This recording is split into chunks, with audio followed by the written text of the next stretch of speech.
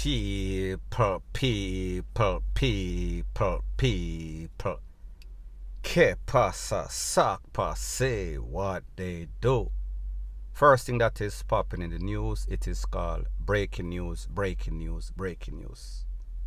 It is said that former reggae boy known as Je-Vaughn Watson, this is his picture on the video right here, he was held with a gun in a Maypen, Maypen that is in Clarendon region. Now people, like me say, don't know the details. More than likely, the fact that he was escorted by the Popo, it tells you that this gun might have been illegal. This gun might have been not a licensed fire piece. So people, I am going to let you take a listen, take a look at the video. However, there is music being played in the video and because of copyrights reason, I cannot play the audio, so therefore it will be muted. Take a listen, take a look, and then I'll give my piece.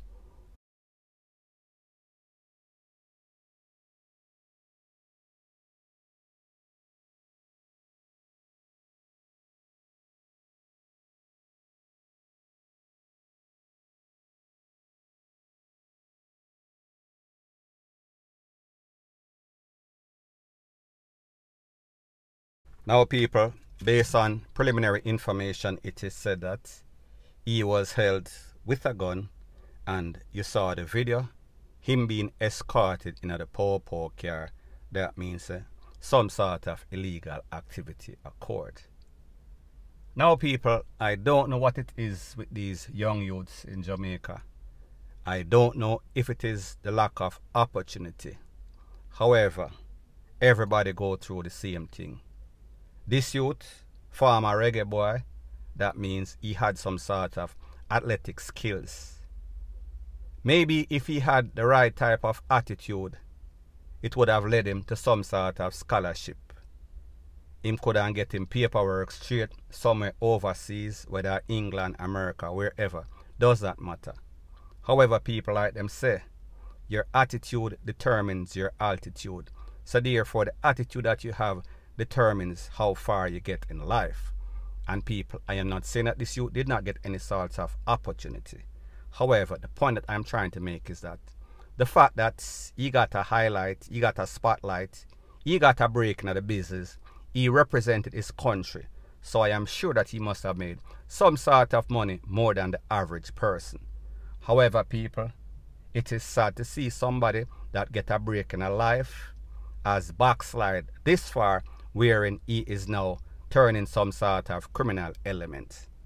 Now, people, truth be told, don't know the specifics, don't know if somebody left the toll name car. However, people, the average person is not going to be pulled over by the popo and then find any sorts of hot toll in them car. So it tells you that directly or indirectly he had something to do with something. Wherever there is smoke, there is fire. However, people, let's give him the benefit of the doubt, which I hardly do. However, let's see how this play out. As I said before, this is preliminary information, point blank and period. Now, before I move to the next part of my video, please subscribe to my next channel. It is called Jamaica Dancehall Source and I'll be pinning the link to that channel in the description of this video. And also, please subscribe to this channel and when you subscribe, please press the notification bell or icon and also press all in the option. Now people, the next thing that is popping in the news, it is called Be very careful, your gopher. The deeds that you plan can always backfire. The good that you do, it will follow you. The bad that you do, it will always haunt you. Now, I am speaking about an incident that occurred in a place called Mount James that is Golden Spring era. Don't quote me on this. It is said that three hitties went to a residential neighborhood for a victim. However, it seems as if the tables turn upon the hitmen. The supposed victim made an alert, and it is said that the people um, put out a roadblock upon the three hitties. After the man met the alert, them try jumping at them car and make a hasty escape. However, people, they were not so fortunate. One man, he is now presently hospitalized. One man, he is gone. And the third man, he was the lucky one. So people, two out of three in a bad condition. One man call himself lucky for right now. Now people, it is also said that the residents burn up the car to a crisp. So therefore it tells you that whoever they went for, he was no joke. Whoever they went for is a very serious person and that person was able to put out some sort of alert. People like me say, don't know if it is an innocent man, don't know if this is some sort of gang retaliation, gang reprisal, and the gangster, the better gangster, had the better hand, basically had the blade, or had the handle and them get the blade. They got the S-H-I-T-T-Y end of the stick. However, people, whenever you are a criminal element, whichever way that we can get rid of you, it is always welcome, point blank and period. So anyways, people, take a listen, take a look to what the residents had to say as it pertains to that, and then I'll give my piece. Oh.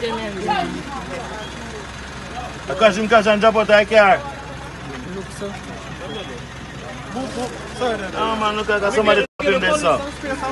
Come and see the you I say somebody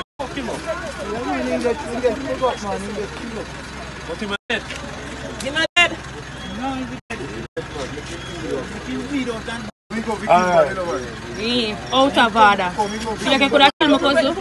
Now, people, like you heard in the video, there were obvious bystanders that did not know exactly what was going on. One man was saying it looked like a clot them clot him with some sort of farm utensil. One man I say him for B L E E D out.